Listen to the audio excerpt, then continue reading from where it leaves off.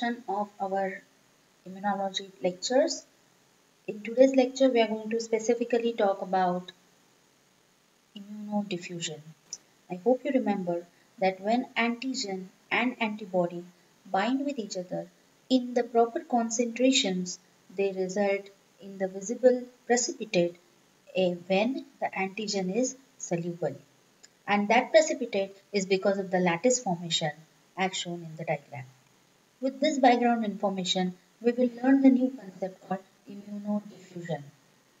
Now, in general, when we talk about diffusion, for example, if I tell you that a drop of ink is mixed with a glass of water, what do you imagine? You imagine that the color of the ink will spread throughout the water, isn't it? Why it is so? Because the particles, the color has diffused across the medium.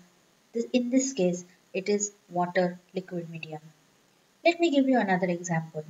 If I spray a room freshener in one corner of the room, the particles travel across the air and in the other corner of the room, after some time, the smell is felt.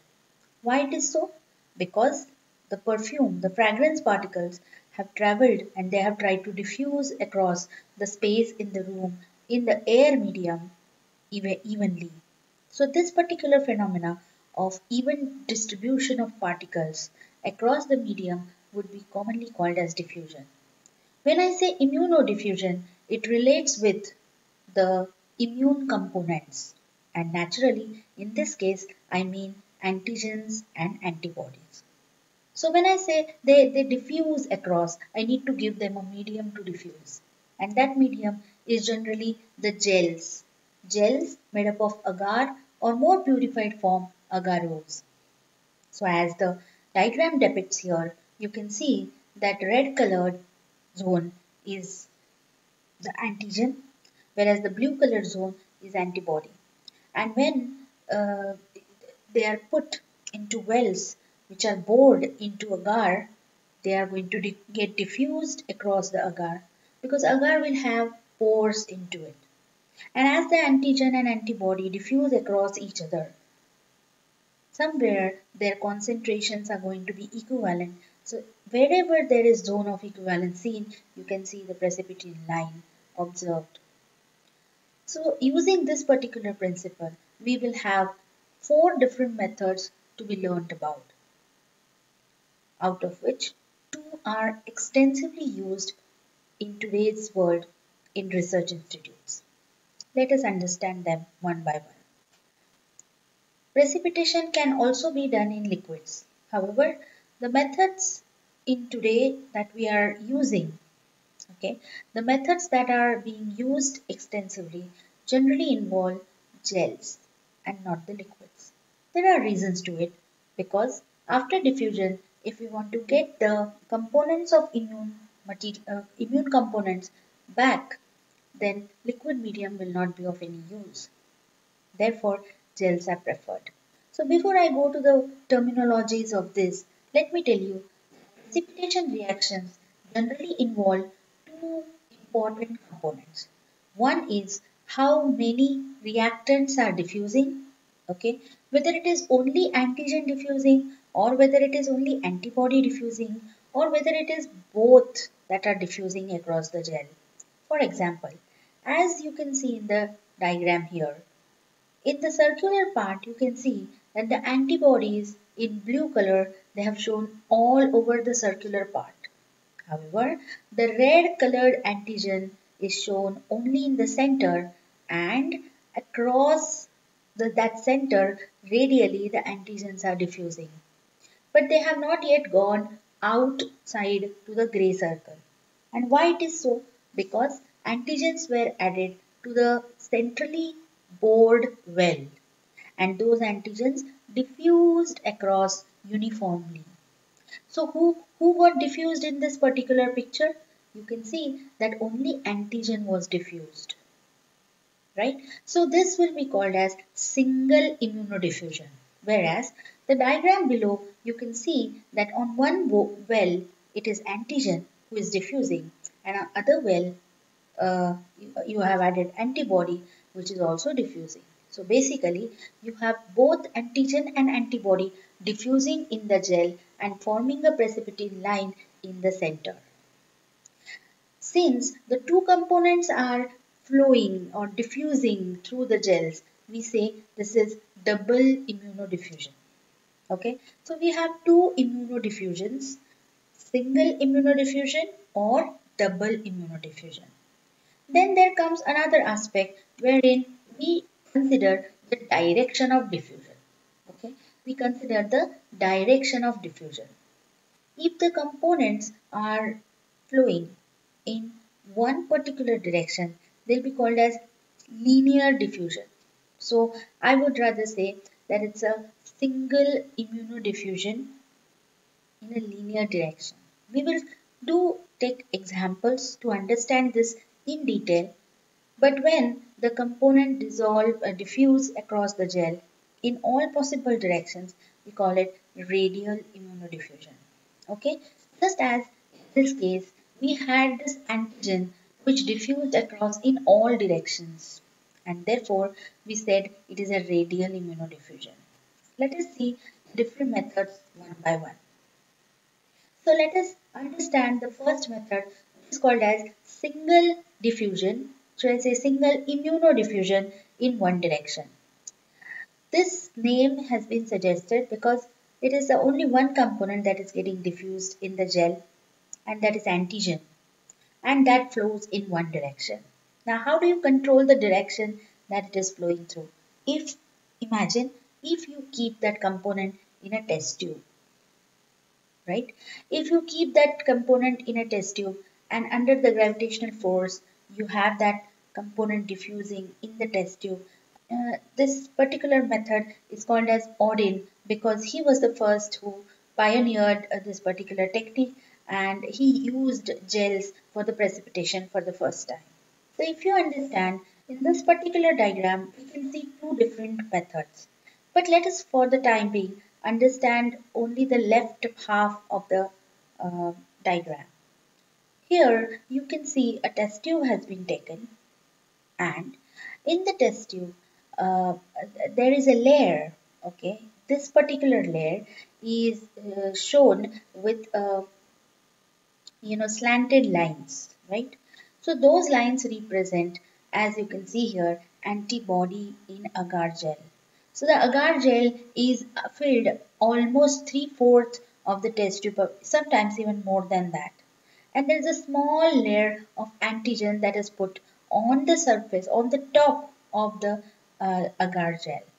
So there is no uh, no requirement of antibody to diffuse because antibody itself is in agar. But who is going to diffuse? Antigen is going to diffuse. And you've also shown the direction of the antigen in the tube. Antigen is going to flow down the tube and as antigen flows down, there will be a point where there will be zone of equivalence observed and precipitin band would be observed. This kind of technique is called single immunodiffusion in one direction. Single because only antigen is diffusing and one direction because it is diffusing only in downward direction. On the same lines, if we immediately look at the right hand side of the diagram, you will understand that there is something called as double diffusion here. Why it will be called as double diffusion? Because both antigen and antibody are going to get diffused. For this particular protocol, we need to reshuffle the arrangement uh, the way we add antigen and antibody. What we are going to do is we are going to uh, you know generate antibody in agar gel again However, we are not going to fill the three-fourths of the tube. We are going to fill only two th uh, one-third of the tube. Then the two-third of the tube above, above that layer would be just a plain agar which will not contain either antibody or antigen and like earlier method we will top that layer with another uh, layer of antigen uh, that will be highly concentrated. So what will happen is antigen will move downward and antibody will move upward through the agar which is plain right now. After some point of time, we will understand precipitin band. We will see that precipitin band is getting formed in the plain agar. Why? Because both antigen and antibody diffuse across each other and they uh, form the line of precipitin wherever we had zone of equivalence obtained.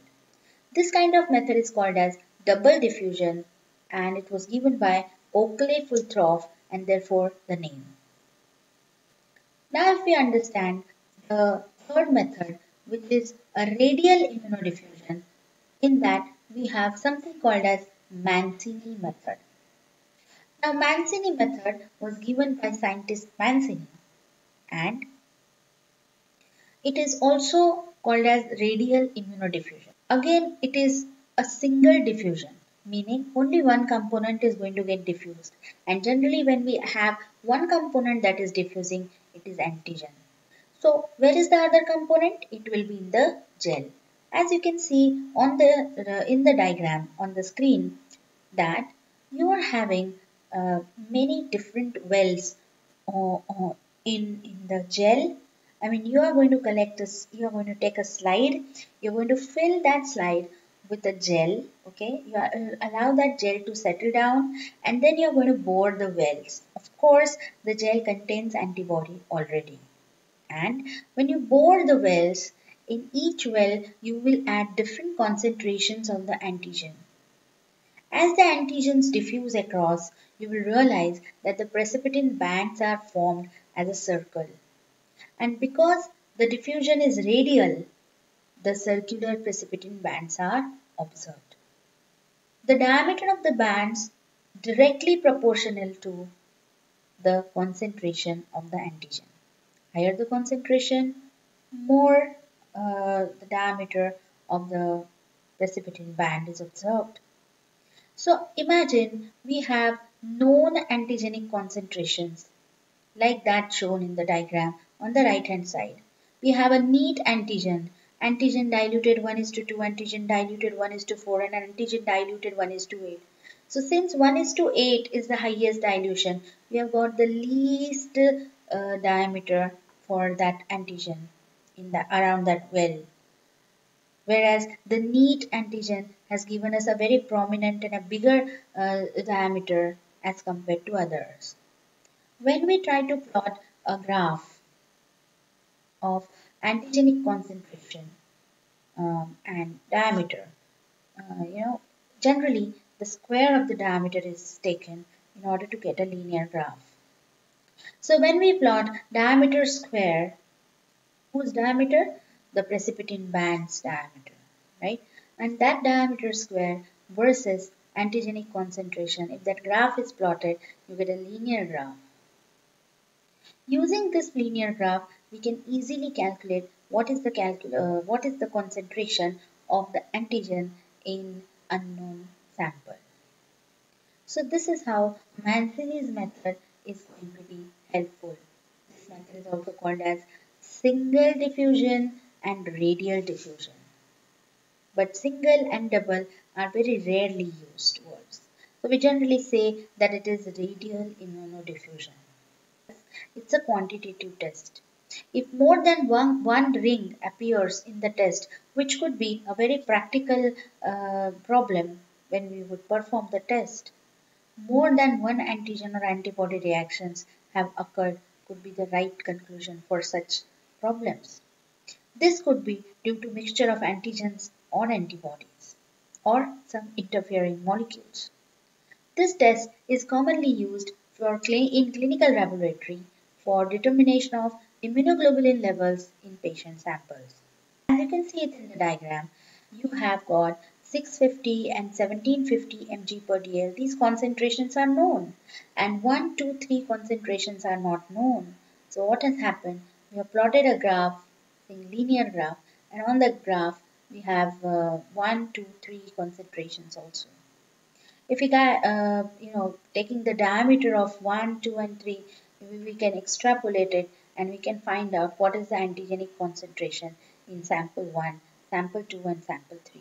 It is always uh, better to square, to take the square of the diameter for the accuracy purpose. And then we will learn about the last important method that is double diffusion in radial direction, meaning two dimensions. This method is called as Ouchterlony's method because of the concept given by Ouchterlony. In this method, what we generally do is we have three wells bored in the on in the gel which is placed on the slide. And generally this method is used for uh, detecting the similarities between the antigens. So we have fixed amount and fixed or known antibody to be used. And then we have a known antigen or commercially available antigen for it. Now we want to test whether a person serum has similar kind of antigens or not. We may add patient serum in the third well of the uh, of the experiment. As you can see it in the diagram, the two antigenic wells are next to each other while the antibody well is in the, you know, at an angle of 60 degrees to it. Basically, the three wells are bored in a way that they will constitute the corners of the equilateral triangle. In case of identical antigens, you get something called as an arc at the junctions. As you can see in the first diagram, antibody is alpha A, alpha AB and alpha AB in the three conditions. However, if you understand the antigen that we have added, this is A and this is also A, meaning the color represents the similarity between antigens just for our understanding purpose. Since the two antigens are identical here, you've got an exact arc. And this arc is because of the precipitin band. This particular line is formed because of the antigen-antibody interaction between these two. And this particular line is formed because of the interaction between these two. However, because the antigens are same, okay, this line will not exceed and they will be exactly forming an arc. In the second case, however, you can see that one antigen is A and other, another antigen is B. And because these antigens are totally not identical to each other, they are totally different from each other, both the lines have exceeded and you've got a cross-like mark at the junction. So when you get cross-like mark, you understand that the two antigens are separate or different from each other. Now when uh, consider the third situation where the second antigen is partially identical to the first antigen. In that case, you can see that only one line has given extension, which we call it as spur. So, uh, fused lines with a spur uh, helps us to understand that there is partial identity between antigens. In this way, using Ouchterlony's method, we can demonstrate uh, whether the antigens are similar in the patient as that of commercially used antigen.